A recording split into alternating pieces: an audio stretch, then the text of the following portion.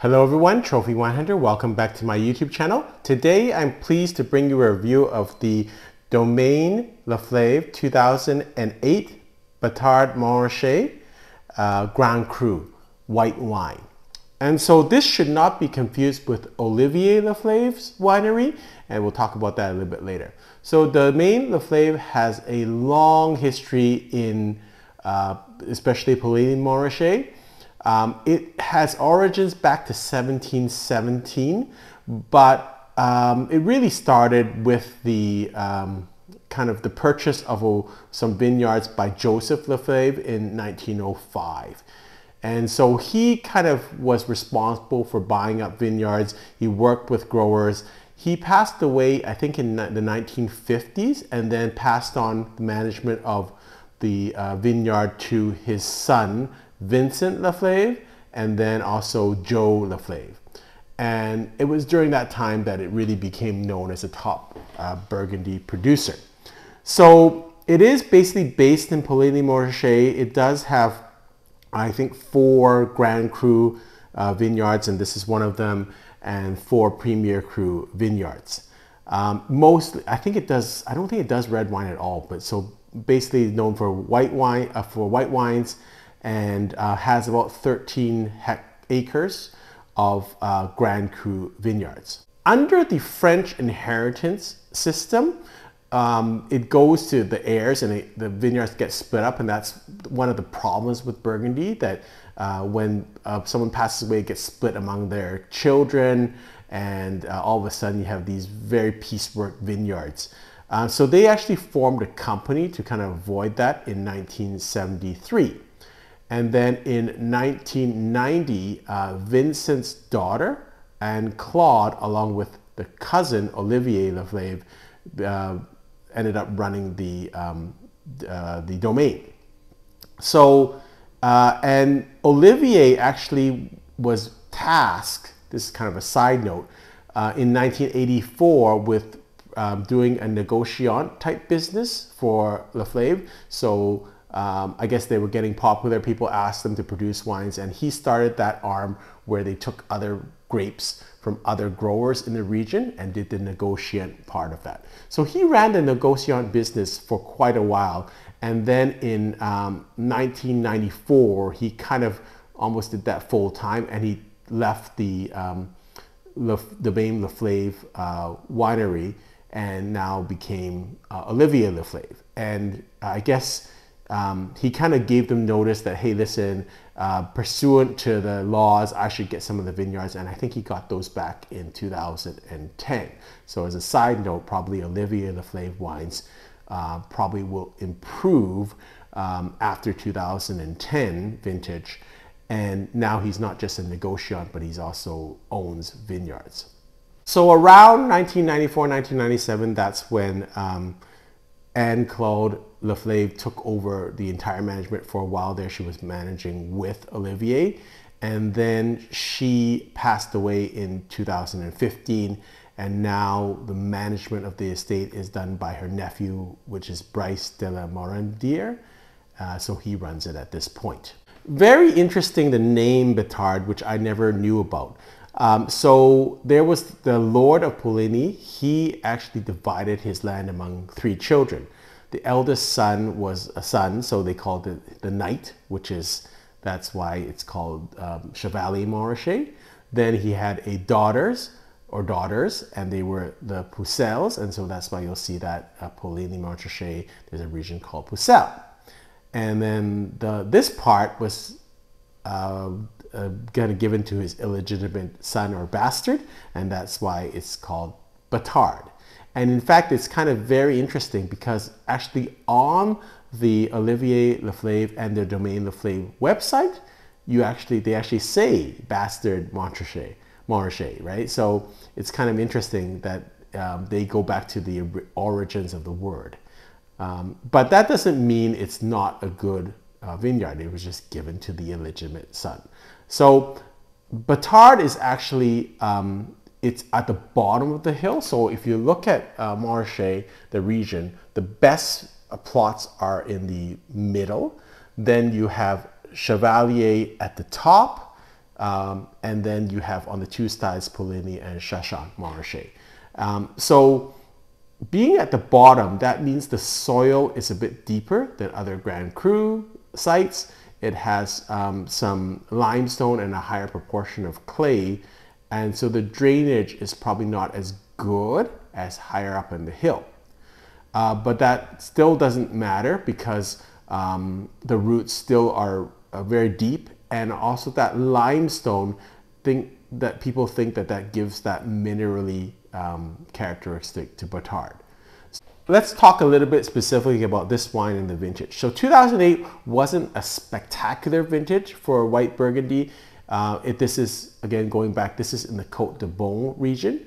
Uh, Puligny Montrachet, mostly known for, or Batard Montrachet, known, I think, primarily for uh, white wines. I don't think they produce red wines in Batard. Um, and of course, because it is in um, the uh, Burgundy region, it's 100% Chardonnay. So the 2008 vintage was a decent vintage. It was mild. There was some storms into it, but uh, it wasn't a stellar vintage either. So, but the wines um, actually have survived fairly well. Um, so this wine, again, is a Batard Montrachet from the Grand Cru. It doesn't have a, a vineyard site. So this would be a, kind of a blend of four different plots within the Batard Montrachet appellation. Um, the uh, wine spends 12 months in barrel and then another six months in vat. Here is the cork of the wine. So Batard Montrachet, Domaine Leflaive, and then I guess on the top you'll see the 2008 vintage. Bottle, a very simple 2008 um, Domaine Leflaive from Puligny Montrachet is their kind of the home and then a couple of things in the back here about the winery in French. The color of the wine, I've turned off the light so it can be a little bit more, uh, this is kind of at, uh, just natural lighting on this wine so you can see the color of it. Um, actually, it looks really nice in person. It's kind of a very um, dark, intense yellow, which is very attractive. Now let's taste the wine. And I will let you know I had this last night at a restaurant called L'Abattoir. Um, it is a kind of very nice restaurant in the Gastown region in Vancouver. Maybe I'll put the uh, review of that at the end of this video. Uh, and I paired this with, uh, we had some oysters at the beginning, then we had a nice seafood dish. I think we had lingcod and halibut. Um, so it paired really nicely with it. So we did not decant it uh, out of the bottle. And I don't know if you can see the color on screen. It probably be better on screen right now as compared to when I um, kind of close up on it. Uh, but you can see the, it's a kind of a grain um, uh, yellow, really nice color, really nice and dark color for 2008, but not doesn't look tired. But it's very out of the bottle, very attractive color. Um, on the feel of it, in terms of just the the feel in the glass. It's not too heavy, it's not too viscous. And on the aroma, you get um, overripe peaches, some citrus notes, apple, and maybe a touch of a cinnamon spice. Um, you get um, some floral characteristics. Um, the some at L'Abattoirs thought it was hawthorn. I'm not sure what that smells like, um, but lilies, that's something that I could, uh, or acacia, that was something that I could also pick up. Uh, quite aromatic and uh, with nice uh, white wines, I like to use these kind of bigger glasses and I like to have them almost at room temperature. So this has been out of the refrigerator now for almost an hour and a bit warming up in um, room temperature. And I find that that actually gives a little bit more weight to the wines and you can taste them a little better, particularly if they are um, nicer kind of white wines.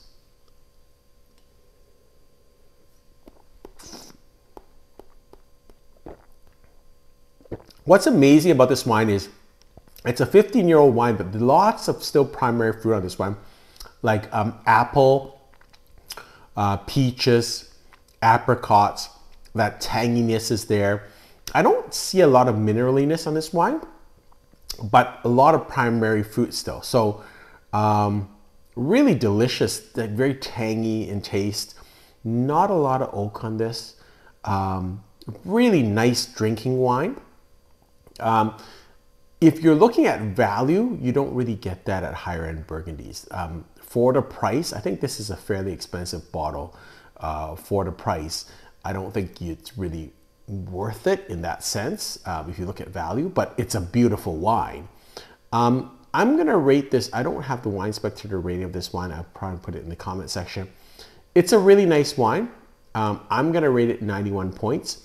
It doesn't have a lot of complexity from my perspective. It's great, it's nice to drink, it pairs well with food, but I don't get that overall huge complexity.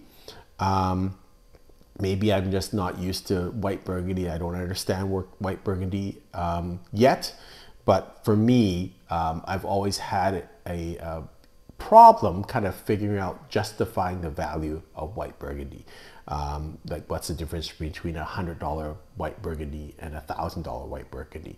To me, it's not that um, noticeable, and that's maybe just in terms of drinking experience. I haven't got the bug yet. I haven't figured it out yet.